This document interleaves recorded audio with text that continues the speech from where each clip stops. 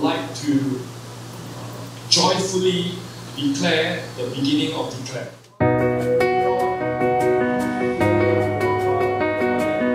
How do we proclaim the word across the nation?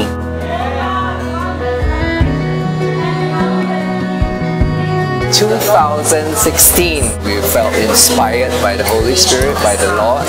coming together to read the word, declaring God's word as a body across different denominations. About more than 14 world languages has been recorded. Segunda carta de San Pablo a Timoteo. Sukacitaku dan mahkotaku. Seperti ada 上 tertulis. 帝这本是合意的。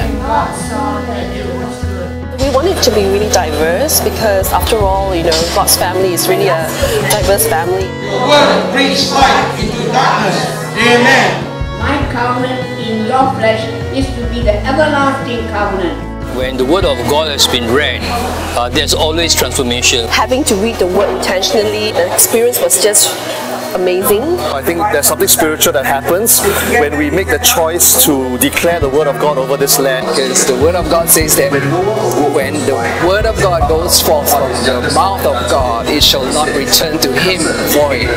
So it's powerful. and this is actually going to make a difference to our spiritual discipline and also our way of life.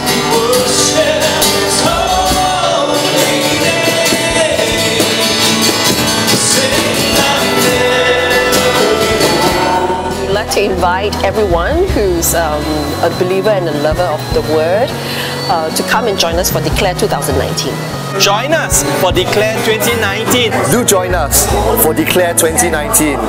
You won't regret it. It's a very good experience. So join us for Declare 2019.